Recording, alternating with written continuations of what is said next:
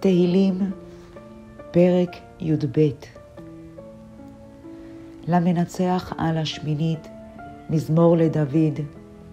הושיע אדוני, כי גמר חסיד, כי פסו אמונים מבני אדם.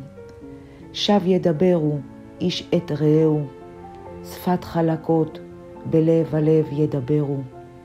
יכרת אדוני כל שפתי חלקות, לשון מדברת, גדולות. אשר אמרו ללשוננו נגביר, שפתנו איתנו. מי אדון לנו, משוד עניים, מאנקת אביונים.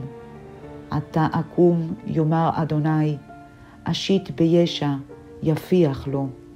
אמרות אדוני, אמרות טהורות, כסף צרוף, בעלי לארץ, מזוקק שבעתיים, אך אדוני תשמרם, תצרנו מן הדור, זו לעולם.